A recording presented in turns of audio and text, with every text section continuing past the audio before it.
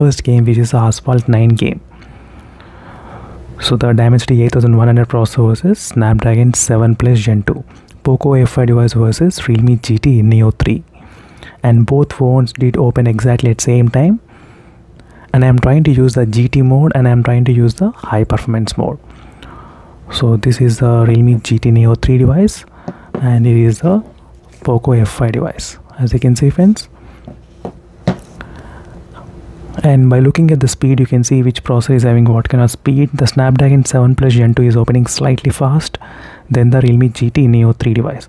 As you can clearly see just a little bit faster. And next game is a fifa game.